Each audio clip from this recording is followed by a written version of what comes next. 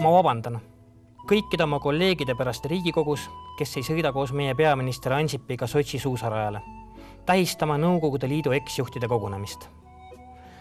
vähe sellest, ma vabandan, et nii mõnedki minu pooletoobised kolleegid Riigikogus on alla kirjutanud Ansipit kiusavale petitsioonile, ehkki Ansip väidab juba ammu, et on eraisik, mitte mingi väikeriigi topisest peaminister.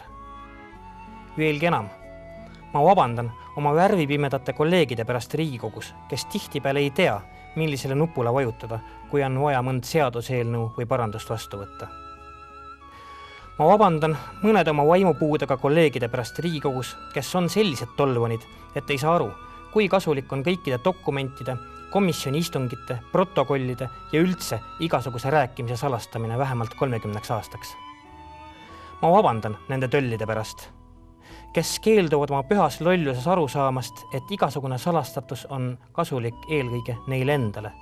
nii ei pääse nende totrused eetrisse.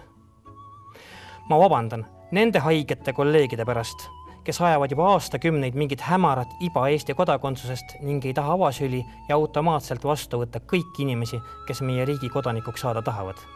ma vabandan kõikide oma maitselagedate kolleegide pärast Riigikogus, kes ikka veel seemneid ei söö ma vabandan nende Riigikogu lollide kolleegide pärast, kes ei taha aru saada, et väikeettevõtlus kiusab riigiaparaati ja ei lase sellel rahulikult mõelda.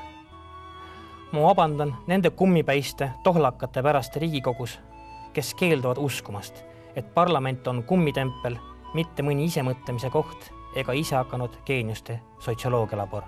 ma väga vabandan